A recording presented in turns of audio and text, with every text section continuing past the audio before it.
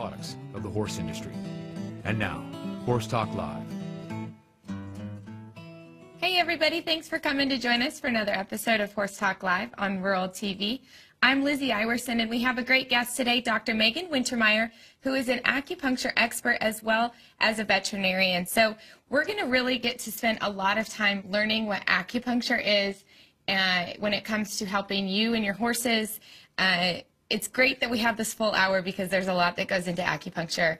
And for someone like me that didn't know much about it, we um, we definitely have a great guest and expert to shed some light. So, Dr. Wintermeyer, thanks so much for being here. Well, I am happy to be here. I love talking about acupuncture. Great, because that's what we're going to do. And we've got a full hour to do it.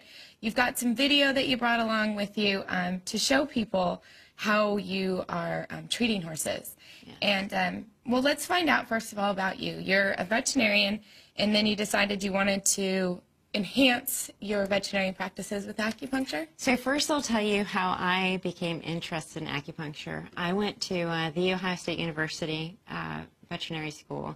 Then I moved to Texas to practice and at that practice there was a veterinarian who uh, exclusively did acupuncture and chiropractic and I was a huge skeptic and I watched him work on cases, and I said, "Oh, how neat! What a neat coincidence!"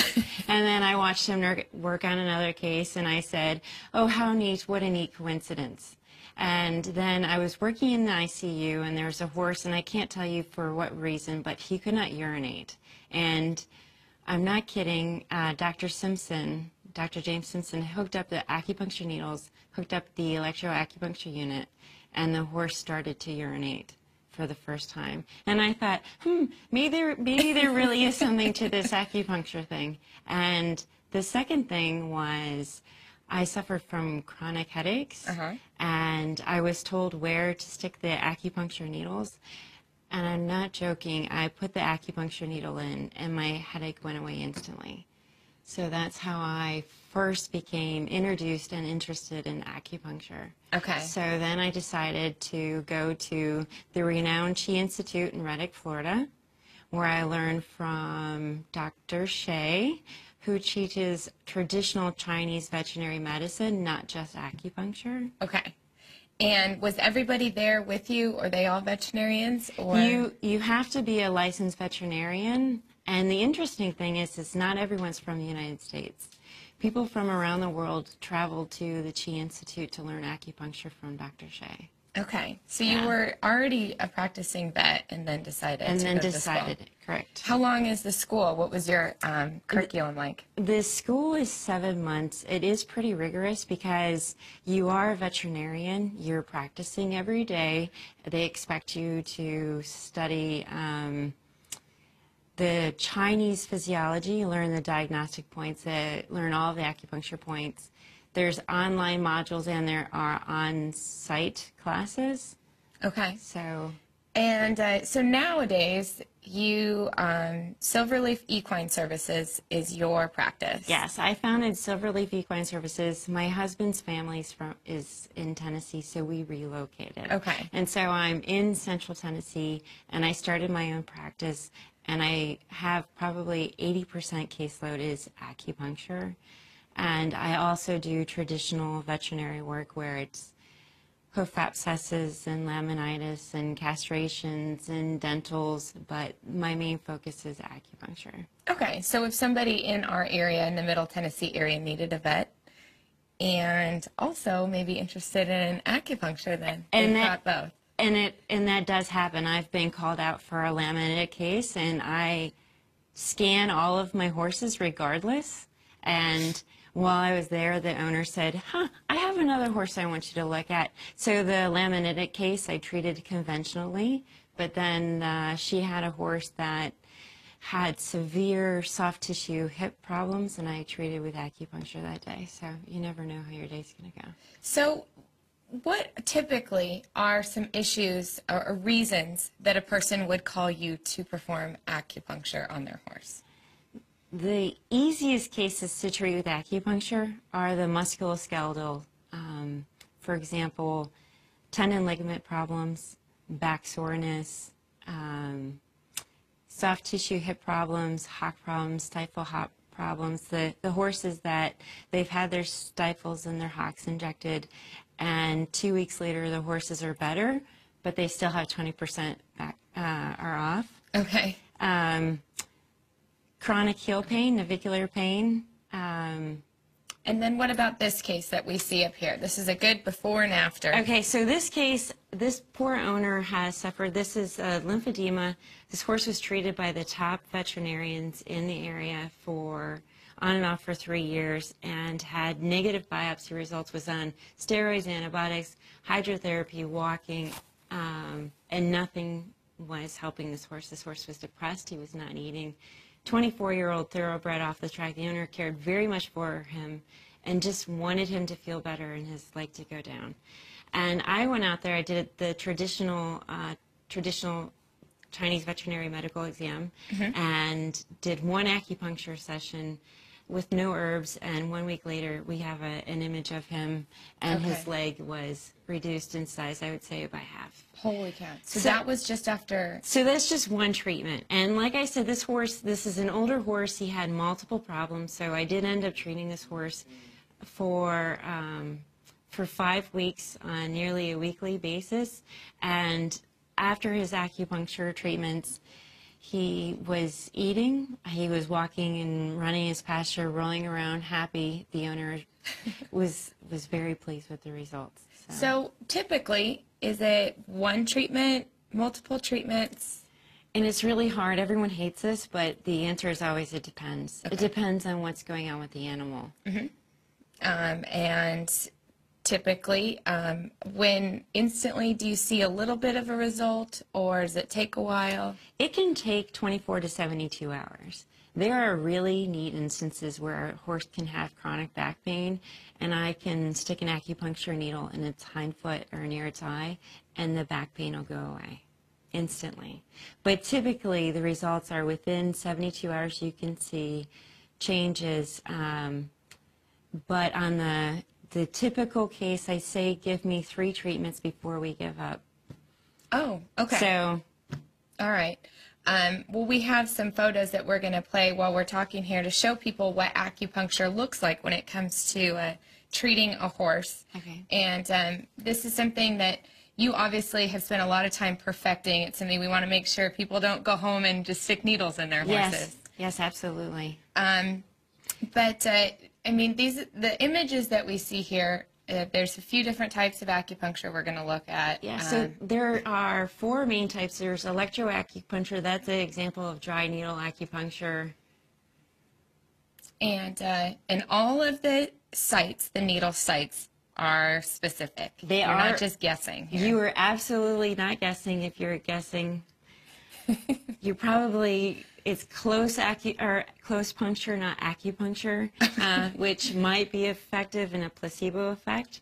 There are also trigger point therapies, which is called ashi points. So horses that if you press on a spot uh, and they are sensitive, it's not actually an acupuncture point, but they're called ashi points, and they are uh, you can treat them for for those trigger points. So a lot of time, you know, we hear a lot of human medicine using acupuncture. How long has acupuncture been used on animals or horses? It's been documented for 3,000 years, but 650 BC, there's a gentleman who was working on the emperor's horses, um, and basically the Chinese progressed over time. They didn't believe in dissecting the horses, so they or humans. So they would find a spot on the animal or the horse, and they would see how it affected the body, and they would write it down, and um, from there would use it as a treatment point Okay. Ultimately, to relieve pain. ultimately to relieve pain and to treat certain conditions. Okay. So, in relieving pain, do are most of your clients using um, or use their horses for competition, and that's why they choose acupuncture to relieve that pain, so their horse can perform better? Or There's there's a wide spectrum of people using this. Um, barrel horses who are nervous before they get to the gate, acupuncture might be good for behavior. Okay. Uh, they also might have the hind end pain because they are asked to move so much off their hind end. So acupuncture could be used for a combination for those horses. The dressage horses, the high end horses who are testing and cannot use any uh, performance or NSAIDs, uh, acupuncture is the only pain relief that they can get the backyard owner who really loves their animal and just doesn't want them to be in pain. Those are owners who are using it. Uh, performance horses who have um, who have tried everything else. Okay. Those are wonderful cases for for the TCVM therapy, acupuncture and herbal therapy, because Western or conventional medicine they've done and exhausted everything they can, so now they're going to acupuncture. Okay. So it can be used in conjunction a lot of times with traditional or conventional Absolutely. medicine. Absolutely. Okay. Well, we're going to take a quick break. We come back, we're going to get a little bit further in depth and show you um, Dr. Wintermeyer working on a horse, and uh, she'll walk us through it, tell us what we're seeing there, and ultimately find out how it can relieve pain, um, help some behavioral issues, things like that, in a number or variety of horses. So stick around. We'll be back with more on Horse Talk Live. Welcome back, everybody. Today, our guest is Dr. Megan Wintermeyer. Megan and I met each other not too long ago at a uh, Grand Prix event in Middle Tennessee. Um, our Grand Prix, are you working on, you know, those type of horses, jumping horses, as well as Western discipline horses? Absolutely. Everything from dressage horses, Grand Prix horses, uh, Tennessee walking horses, Mm-hmm. backyard pleasure horses, uh, trail horses, you name it. So pretty much any horse can benefit from acupuncture. absolutely. Now, what about uh, this? Was one question I had. I don't necessarily see anything really wrong with my horses. Um, would it be a good therapy or treatment for them, even if there's nothing necessarily specifically acutely wrong? Can it benefit any horse? My response is, is that if I scanned your horse and I saw something wrong, I would tell you. Mm-hmm. And if I didn't see anything wrong, I wouldn't treat your horse. Okay. I might recommend um, possibly an herbal supplement to help him if I see that he is a non-sweater or something that you haven't possibly picked up on. Okay, But if there's yeah. nothing going on, it's not a, a therapy that I would just willy-nilly throw on every horse. Okay. Yes. And so it does necessitate an overall um, scan of the horse, and Right. you evaluate Right. that horse before you start. Right. So treating. before I treat my horses, I do a, first of all is I ask the owner exactly what's been going on. Just as a conventional veterinarian, I want to know if the horse is still eating, how is he doing uh, under saddle, everything your normal veterinarian would ask. And then I would look at its tongue. I would check its pulses. I would feel its back. I would get what's called Bian Zheng in uh, Chinese, traditional Chinese veterinary medicine, which means pattern diagnosis. And then I would form my treatment plan. Okay. So what exactly are you looking for when you examine their tongue? So the tongue tells a lot. If, for example, if the tongue is purple and swollen, uh, it's an indication of pain and stagnation. You can't see it here, but this horse's tongue is red because he is a yin deficient horse. Checking its pulses, and the pulse uh, changes depending on if there is pain or if Okay. there is a deficiency in the animal. So it, it all goes back to trying to get the pattern diagnosis. And once we have the pattern diagnosis, we can balance the horse out through acupuncture and herbs.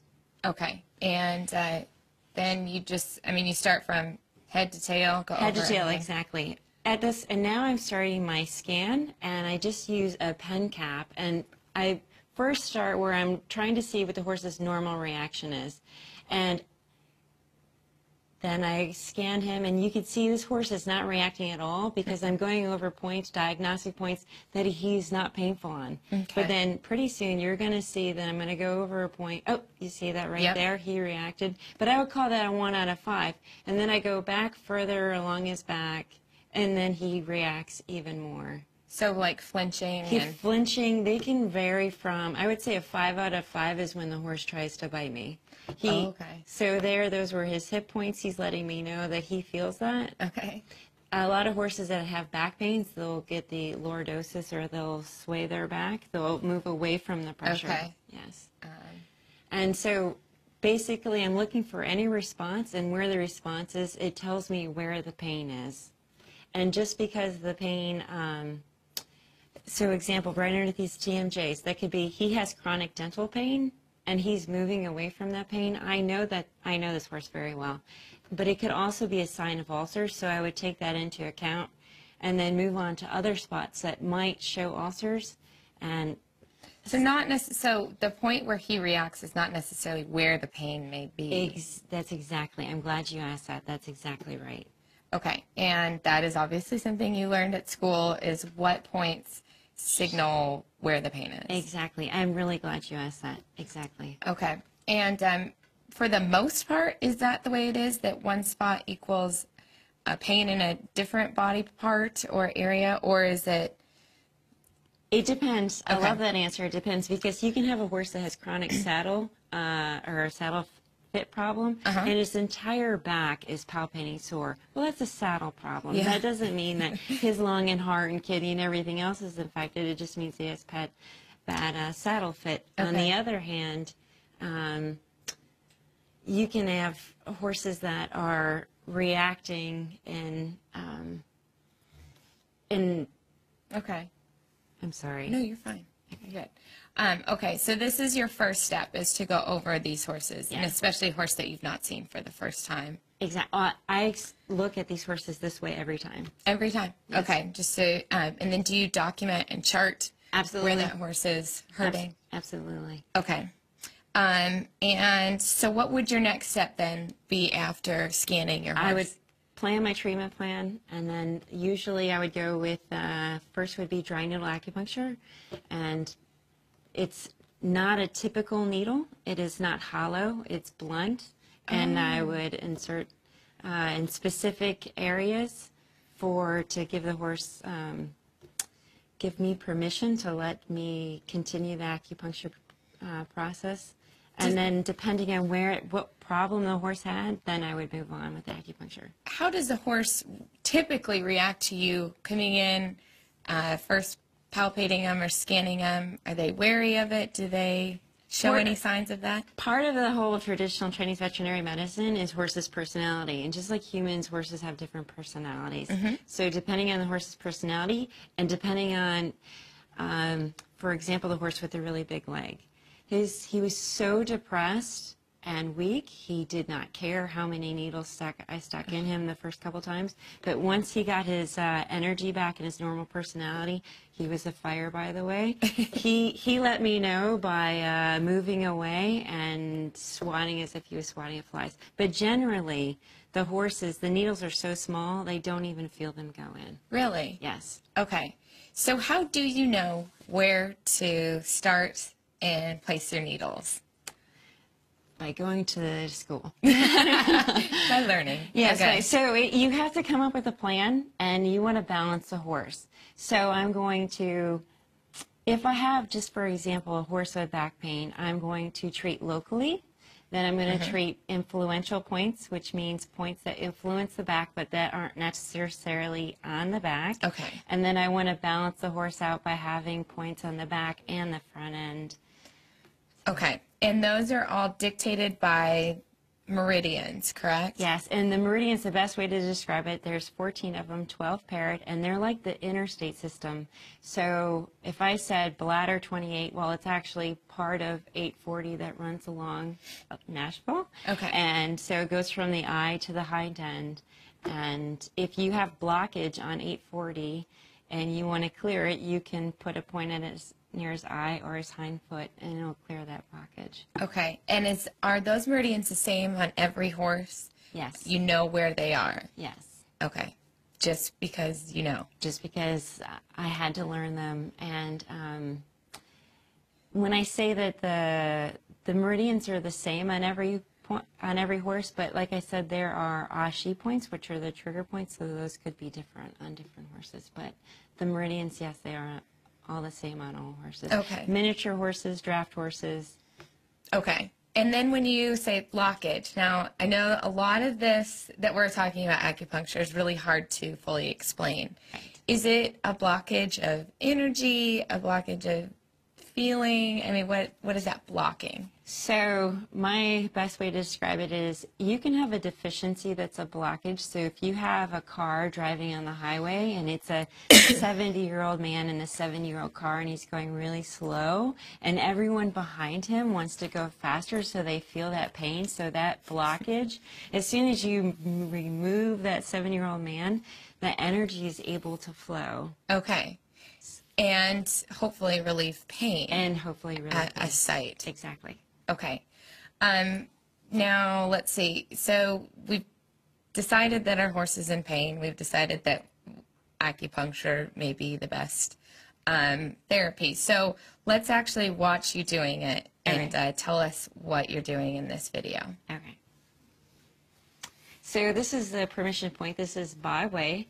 This is just letting me, oh, here we are on different points, but I'm just putting the needles in. Okay. You see me tap them in, and that's just, the horse's skin usually doesn't mind, but if you put some pressure before you put the needles in, the horse doesn't react at all. So I'm putting the needles in specific acupuncture points. Those just uh, to stimulate the stomach. This horse has chronic uh, GI issues, and um, and you can see that I'm finding the points because there are anatomical locations where the acupuncture points are located. So I'm tapping it in, and then I'm just slowly inserting the acupuncture point. And you can see this horse actually had no one holding its head. He's just standing there, and here I am. He had blackage along his bladder channel, so like I was saying, I'm just putting a needle in. And that is that like kind of It's the medial canthus, canthus of his eye. It's not going anywhere near his eyeball. okay, just And under the skin. just underneath the skin. Okay. And this is a great point for inflammation. And like I said, don't do this at home unless you know what you're doing because there are very important anatomical uh, tendons, ligaments, arteries, and veins located right there. you bet. This is a horse uh, that has uh, equine metabolic syndrome and has the typical cresty neck, and acupuncture can be used for to decrease the size of the neck. And we were just inserting the needles uh, in specific spots uh, along the neck, uh, and so I could hook up the electrodes to stimulate the the fat to be Huh. And so, how long typically do needles stay in? 20 to 30 minutes, and I usually hook up the electroacupuncture units um, for 15 minutes. But it, like I said, it all depends on the disease. Those are points used just for chronic heel pain. If you saw which- those, And that's something you see a lot of. see a lot of yes. Um, okay, so you um, have inserted the needles in there. Do you see a horse react or relax The or? horse usually relax. They start licking their lips. They will yawn. That is, I love it when they just they they'll drop their head and they'll yawn like 15 times, or they'll go to sleep. Uh, and when I hook up the electroacupuncture unit, I know when it's over because the horse will be asleep, and then all of a sudden, perk up, ears will go up, and you go, okay, we know it's over, so we'll take the needles out. All right. And so explain a little bit more um, how you know which of the types of acupuncture to use then. It depends on the condition. So, electroacupuncture is great for musculoskeletal pain, and there's different frequencies that you can set the unit at. 20 hertz is beta endorphin release, and that's really good for pain management. If it was an internal medicine case, say uh, diarrhea, you would turn up the frequency um, to 200 hertz. So, so many things. I hate to keep saying it, but it, it just it depends on what the condition is. Okay. Is that, were you able to learn um, how to read the horse like that in school, or is it just experience that It's, teaches it's you? both. I mean, it's kind of like even vet school. You come out of vet school, and you probably have more mo- knowledge in your brain than you ever will. Yeah. But it's not until you get out there and do it, and you see the response, till you really know. okay, this is what the horse is doing. This is how he reacted. This is what I have to do next time. Okay. Um, are people really aware of acupuncture, or is this? Do you feel like it's growing in popularity? I definitely think it's growing in popularity. Just in my class alone, I want to say there was over 130 veterinarians from, like I said, around the world and the United States. Within the central Tennessee area, I know there's veterinarians who specifically work on small animals and Okay. large animals. Um, so the best clients are the ones who've had acupuncture themselves. I've had it on Yeah. myself. I highly recommend it. because so much of it is hard to explain. So you, if you feel it yourself, then you can understand what your horse is feeling. Exactly. Okay. Well, I guess a lot of us are going to have to go get acupuncture, but you wouldn't necessarily go get acupuncture unless there was something wrong. Exactly. Okay, so hopefully you don't need acupuncture, but if you do, um, then you can experience it and kind of better understand what your horse is feeling. Right. And a lot of times it's best in conjunction with some other treatments that you're using for your horse. Absolutely, 100%. There are very few times where I will only use acupuncture. Okay, Most of the time, I'm using my Western conventional veterinary medicine in conjunction with acupuncture. okay, And those two modalities together are what's best for the horse. okay. All right, well, we're going to take a quick break, but Megan is going to stick around and we're going to continue our discussion on equine acupuncture. So we'll be right back after this. Thanks for coming back to Horse Talk Live. Our show today is all about equine acupuncture, and we have an expert with us, with us, Dr. Megan Wintermeyer. Um, Dr. Wintermeyer, if somebody's just joining us, give us a brief overview of what acupuncture really is. Acupuncture is one of the modalities in traditional Chinese veterinary medicine where you use acupuncture needles to stimulate acupuncture points to balance a horse and heal the uh, the horse through um, I don't, through uh, I don't know how else to say it. But, Yeah. Uh, Through using these needles on the correct point. exactly. Thank Okay. you. So what you know, we we know that there are these points that that really matter that mean something can't just go stick in. Right. What exactly about those points make it an acupuncture point? So the acupuncture points are typically areas of concentrated mast cells, free nerve free nerve endings, and arterioles.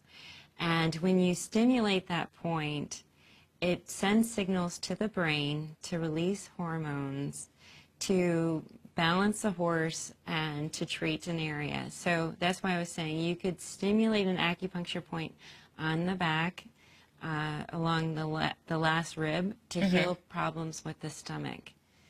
Okay, so how would you know, like, are the stomach problems something that you as a veterinarian have diagnosed, or is it something that you can, you have picked up on through your scan? Both.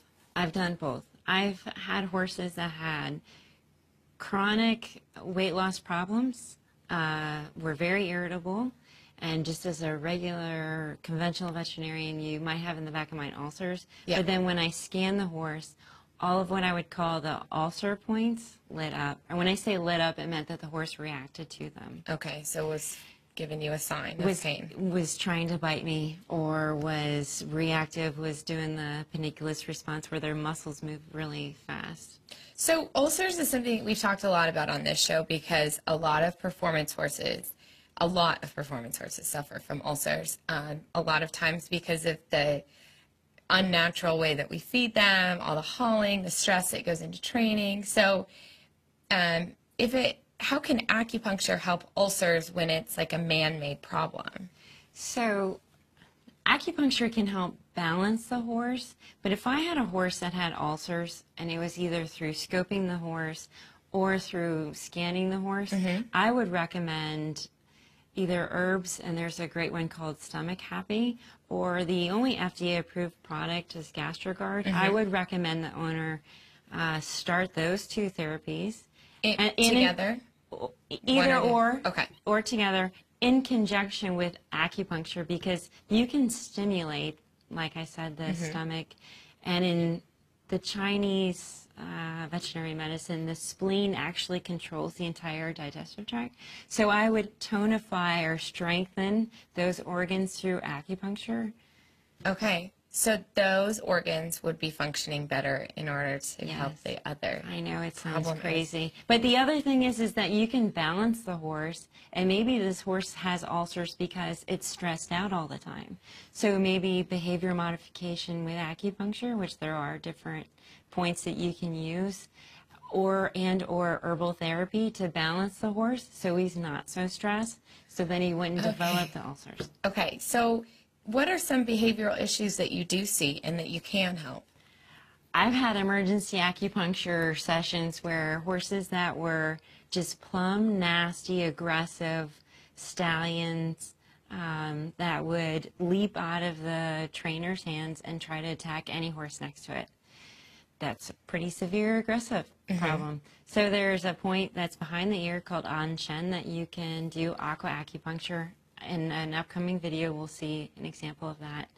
Uh, there's Dafeng Men, horses that are just plumb crazy. It's at the forelock. There's three points that you can do. It's called gold, ble- gold bead implantation, or you can place surgical staples there.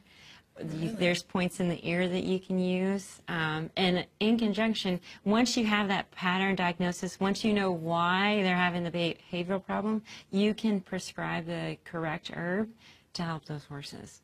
So why they're having a be- is the behavior usually from pain?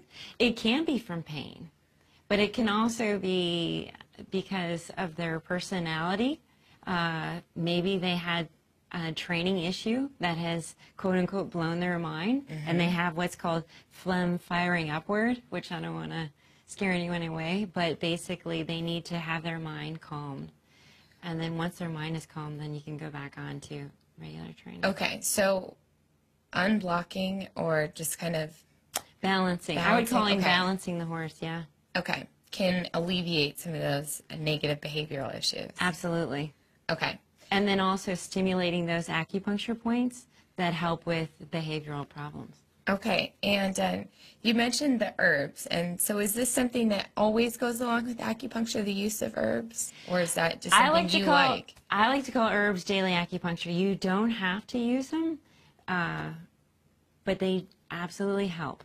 Okay, You're going to shorten the number of times that you need to have acupuncture treatments with the addition of herbs. Okay, so name off some conditions that would benefit from herbs. Okay, so the horse that was um, attacking other horses, uh, he had liver chi stagnation, so there's a product called Liver Happy. Uh, the horse who is um, crazy in its stall, not that it's aggressive, but um, say it, it's ready to go to a barrel race and it's just it cannot calm down beforehand there's one called shen calmer and those two products they're not going to lose their motor they're not going to lose their athleticism Okay. they're just going to calm their mind if you have a horse that has laminitis uh, an acute case, I'd put him on hot hoof two. If it's a chronic case, hot hoof one. Um, there's herbs for cancer. There's herbs for kidney problems. There's you name it, there's herbs for it. And basically, uh, a conventional veterinarian can open up the herb book, could tell, could look for the disease pattern that they have, and you can prescribe the herbs. So they are. This isn't something we can just go to the health food store and. Y- no, I wouldn't, because you can. Not only can you help a horse with herbs, you can hurt a horse with herbs. You don't want to add a horse who's already hot, hot herbs, or a horse that's already cold, cold Sure. herbs. So. And is it like, do you just put them on their feed or? Well, how's it depends. There are uh, herbs that are that you can feed. Okay. There's herbs that help with hoof pain that you just apply to the coronary band.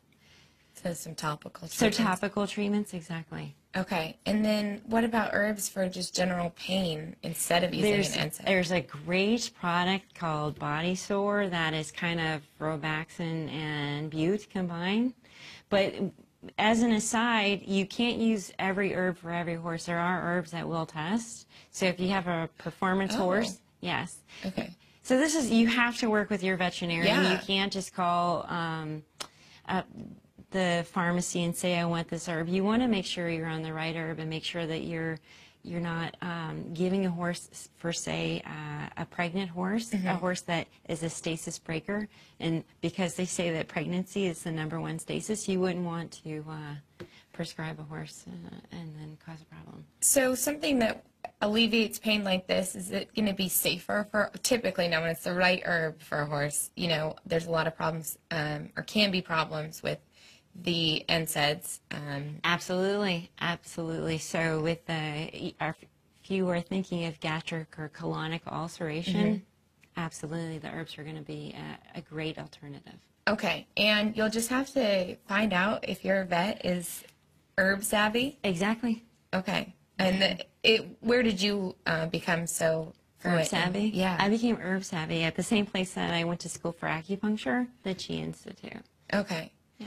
um, and so every herb is going to affect every horse different and just And you're going to want to have the correct diagnosis before you put their, any herb, horse on an herb. Just like I wouldn't want to give you phenobarbital if you didn't need it. yeah It's the same same principle. Okay.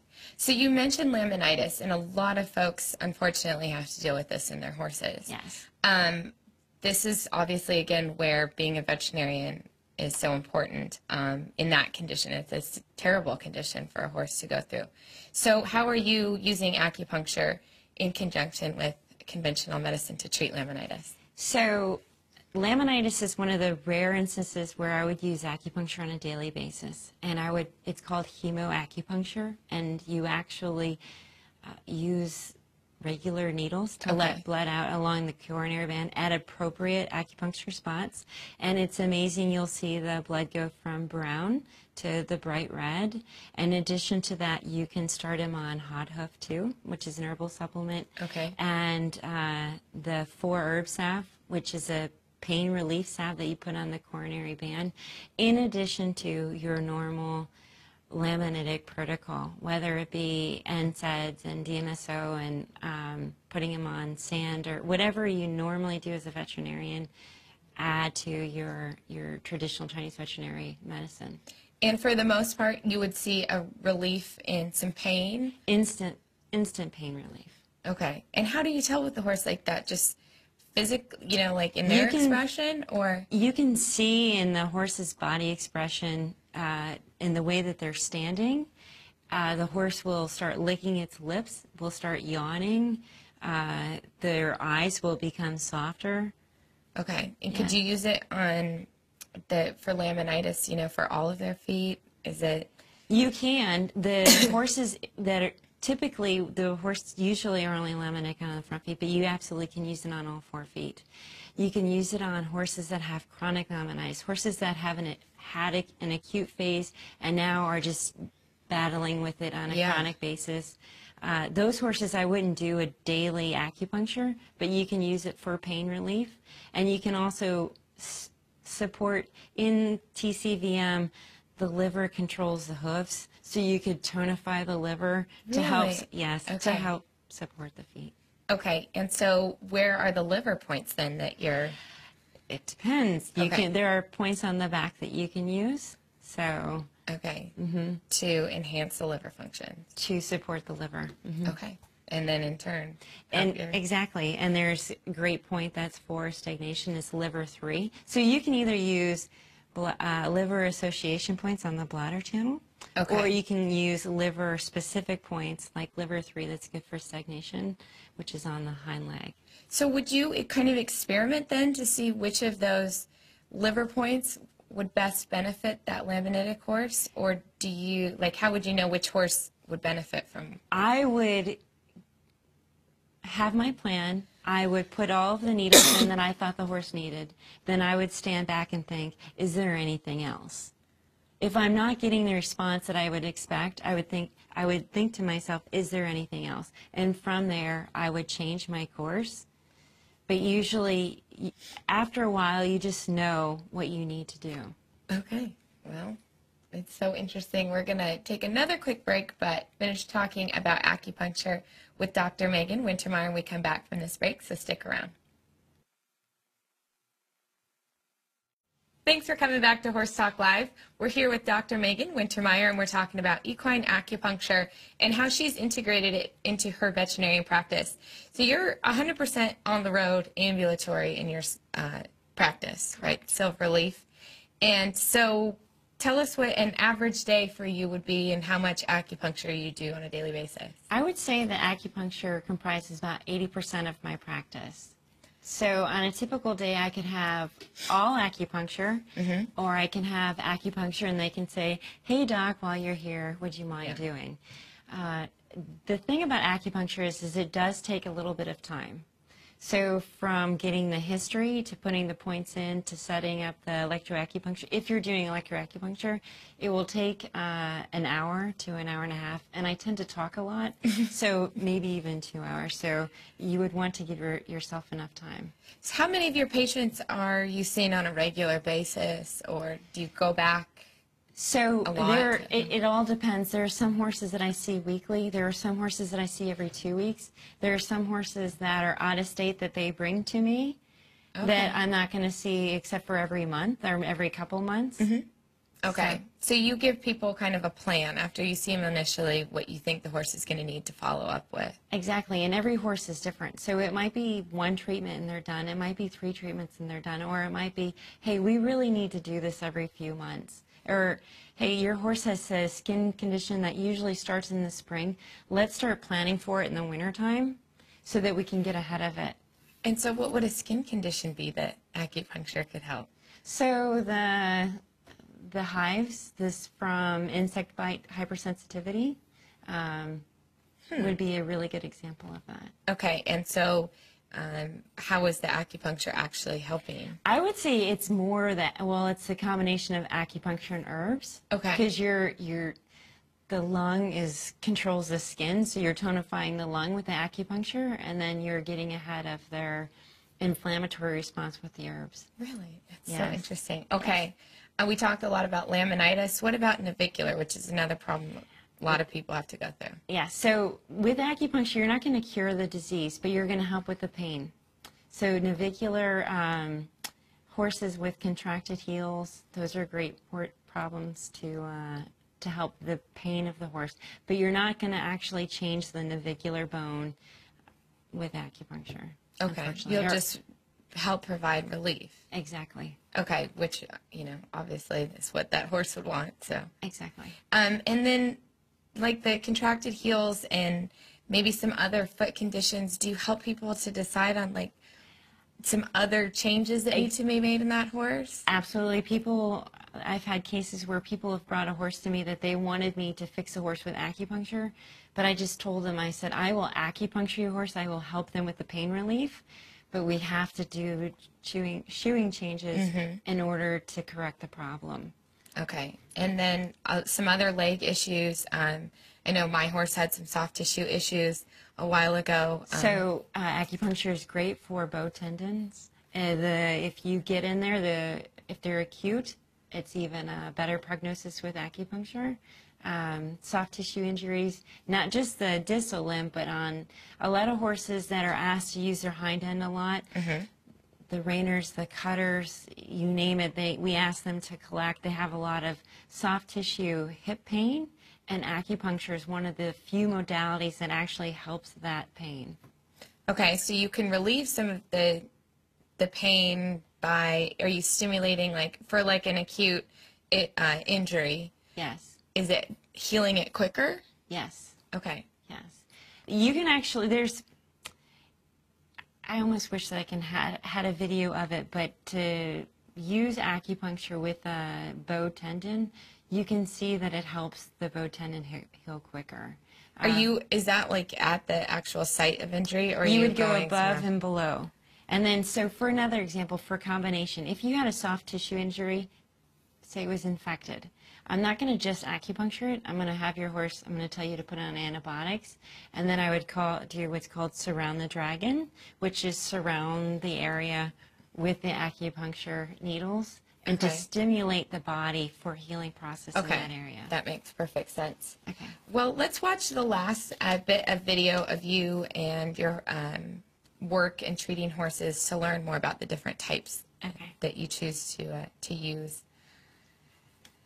Okay, so this is the horse. uh, This I'm hooking up the electrodes, and there's um, two wires that will go to, and eventually you'll see the electro acupuncture unit, and that's where you can set the intensity and the hertz uh, depending on what the condition is.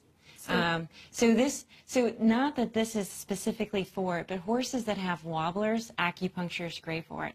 Horses that have laryngeal hemiplegia, those are both neck problems. Those are not that those specific points would treat those conditions, Yeah.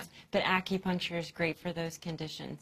And I'm just basically, uh, it takes me a few minutes. I have to hook the electrodes up, um, and I just drape them over the horse's back until I get them all on.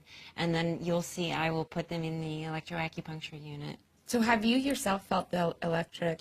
I, I treat myself all the time. It's illegal for me to treat any other human except for myself. And what does it feel like? If it's amazing, it's uh, it feels just like a an electric pulse going Okay. through. And if you've ever had back pain, um, I do have a confession. I've treated my husband. He calls it he calls it WD forty for his back. So for lum- lower back pain, uh, electroacupuncture, and then it's almost like after you've had it done, you keep waiting for the pain to reoccur, but it doesn't.